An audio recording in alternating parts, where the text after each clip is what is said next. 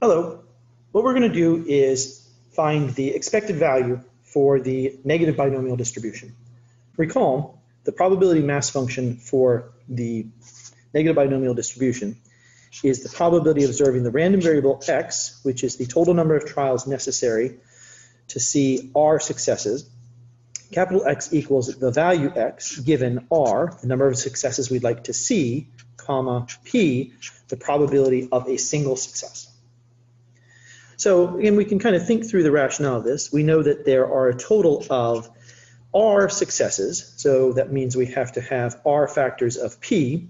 The remaining factors of the x would be x minus r. Those are each essentially failures to observe the desired result.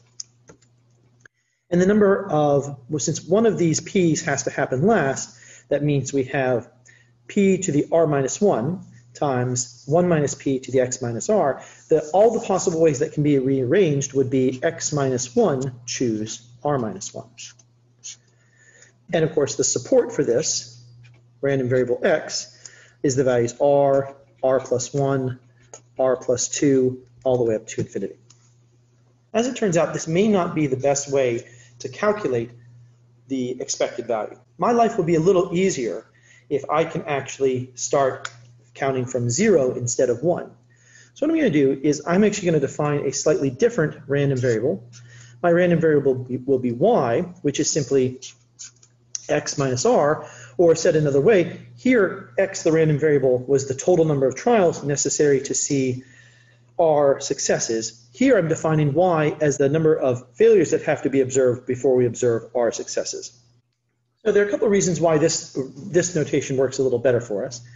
So here, the probability of y equals y is given by, well, the total number of trials is simply r plus y. So we have r plus y less 1 over r minus 1. We still have p to the r because that's the number of desired successes. And now the number of failures is y. And the reason why I actually want to use this notation is this notation allows me to do a, an immediate transformation because we know using the symmetry of the binomial coefficient that if this is r minus 1 plus y, choose r minus 1, that that's the same thing as r plus y minus 1, choose y. Now, one of the features that we definitely want to take advantage of is we know that if we write it either in this notation with f of x or this notation with g of y, we know that this indeed is a PMF which means if I sum over all of the values in the sample space, in this case, the support for y is 0, 1, 2, etc. If I sum over all of the possible values, then all of these g of y's actually add up to 1, in the same way that all of these f of x's would actually add up to 1 if I were adding the infinite series. So just to reiterate that, we know that the sum of the g of y where y starts at 0 and goes to infinity, that actually equals 1.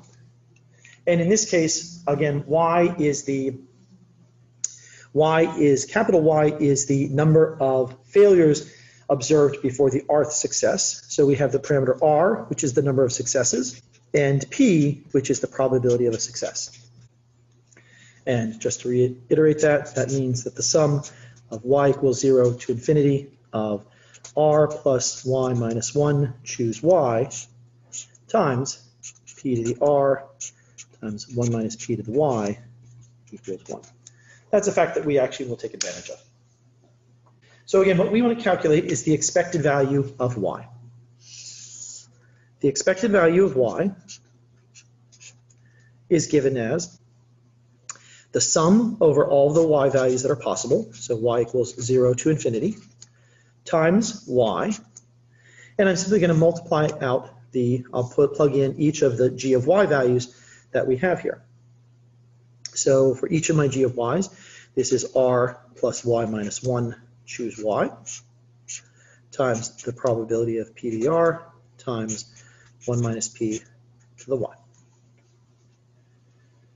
So the first thing that I'm going to do is I'm simply going to notice that if y equals 0, then this entire term is zero. So this is exactly the same thing as if I had started my index at y equals 1 of infinity.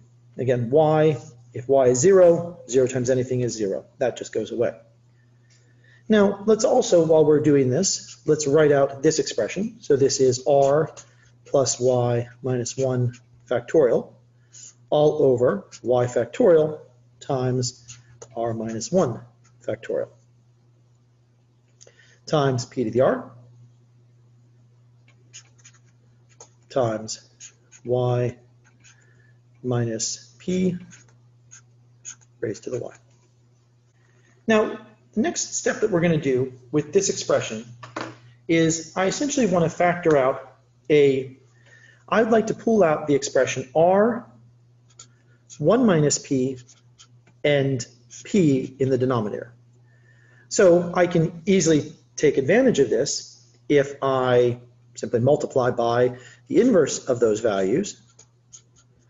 So if I multiply this expression here by this, which is just 1, then I can do actually a little bit of rearranging.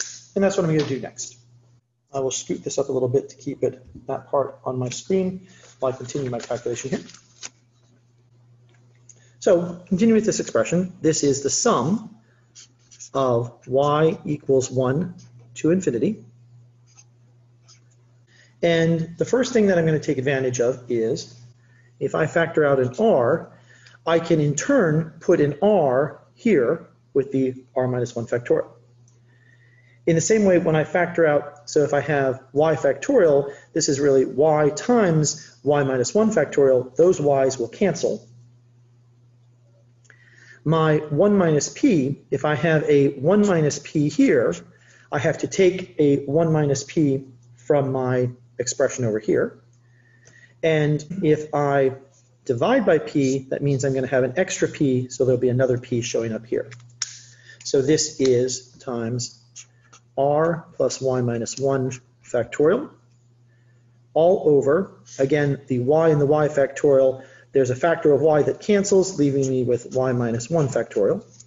I now have my r times r minus 1 factorial, which when I return this, that's simply r factorial. I have p to the r times a factor of p, so this is now p to the r plus 1. And where I had 1 minus p to the y, I've now divided out another factor of 1 minus p, so this will be 1 minus p raised to the y minus 1. So cleaning up and rearranging my terms a little bit here, this simply becomes, I will factor out that expression that I have here, r times y minus p all over p. So that can come out because there's no relationship to y. This is the sum from y equal 1 to infinity. Again, the sum here, r plus y plus r plus y minus 1 factorial. This is all divided by y minus 1 factorial. And again, this is now r factorial. This is p to the r plus 1. And then this is 1 minus p to the y minus 1. At this stage, I'm going to do a change of variables. That will make it easier to figure out actually what's going on here. If I let I let y minus 1 equal the value z, then that essentially implies that y equals z plus 1. But it also means if y equals 1, then that means z equals 0. Now again, so if y is z plus 1, everywhere where I see a, a y, I can replace it with a z plus 1. Everywhere I see a y minus 1, I'll replace it with a z. So continue to sort of rewrite this a bit. This is, I'll still leave the factor that I have, r times 1 minus p all over p. I'm now not summing from y equals 1 to infinity, but I'm summing from z equals 0 to infinity. So the factor uh, y here is really, this factor is really the same thing as z plus 1. And if I plug that in, I'll get r plus 1 plus z minus 1 factorial all over, this is z factorial, because y minus 1. This then is r factorial. r plus 1 remains, and y minus 1 is actually z. Now, again, we notice here that the 1 and the minus 1, they essentially cancel, so this is just r plus z. So rewriting this, this is r plus z, which is really r plus 1 plus z minus 1. Choose z times p to the r plus 1 times 1 minus p to the z. Now, at first glance, it might be unclear what we've gained by rewriting it this way.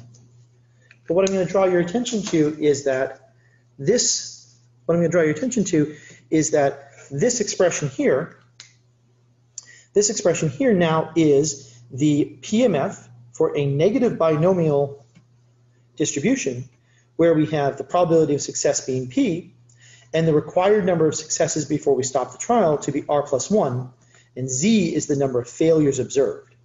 So I know that this sum actually adds to 1. Again, to clarify, this is the negative binomial for probability of success P, trials R plus 1. Since it's a PMF, that's 1, and that means that our expected value of Y, our expected value of Y is R times 1 minus P all divided by p. Recall the expected value of x.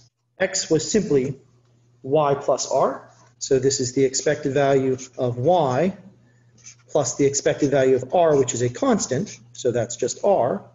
So this becomes r times 1 minus p over p plus r, which of course we can write as p over p, r times p divided by p. And with a little bit of rearranging, we actually see that this reduces to r over p. So the expected value for y, the number of failures until we observe r successes, with the probability of success being p, is r times 1 minus p over p, whereas the expected value of the total number of trials to observe r successes is r divided by p. And that does indeed give us the proof for the mean for the negative binomial distribution. While I'm not going to go through the proof here, the proof for the variance is similar. I'm not going to actually walk through the, the proof for the variance, but to get to the variance, we would need to use the following formula. The variance of y is the expected value of y times y minus 1 plus the expected value of y minus the expected value of y squared. It's in the calculation of this term, when we multiply by the expected value of y times y minus 1, that would be the sum from y equals 0 to infinity of y times y minus 1 times the PMF for y. It's in this term that if we rearrange this, we can actually get our index starting at 2 and we can rewrite the resulting terms there as a series with the PMF for a different negative binomial distribution, which we know sums to 1, and then this term then can be reduced, and that in turn will actually give us the values that are necessary to calculate the variance for y. Thank you for listening.